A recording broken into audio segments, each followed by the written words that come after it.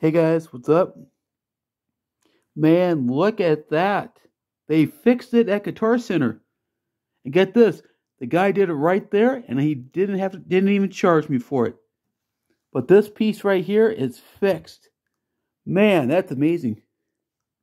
This is my uh, P bass, my uh, P bass guitar. But man, look at that. It is fixed. Check that out. This piece right here, fixed. I am happy. Oh yeah, definitely. Check that out. It is fixed.